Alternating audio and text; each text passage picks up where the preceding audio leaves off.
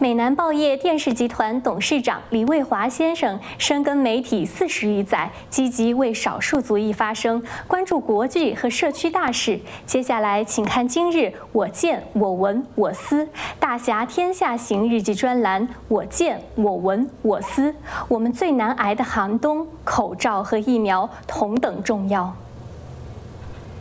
虽然疫苗已经问世，但是面对圣诞假期。及即将到来的寒冬，将对我们有一场非常严峻的考验。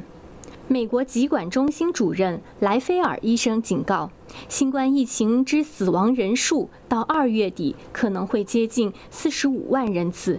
这个令人惊悚的数据，似乎在华府执政者没有感觉。莱菲尔主任同时劝告国人要戴口罩、保持距离与勤洗手，也许会减少伤亡人数。他对那些主张不要戴口罩的人表示十分不满。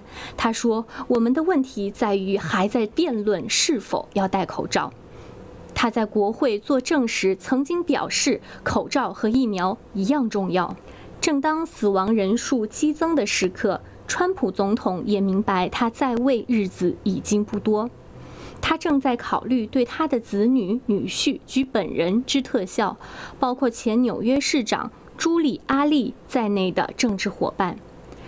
但是这项特赦令不包括民事官司在内。据称，纽约地方法院已经着手在川普下任之后对他提起税务和财务之民事诉讼案件。美各地的前线医护人员即将从本月上旬开始接受新冠疫苗种植，但还是赶不上病毒之猖狂，因此我们还是要度过一个黑暗的寒冬。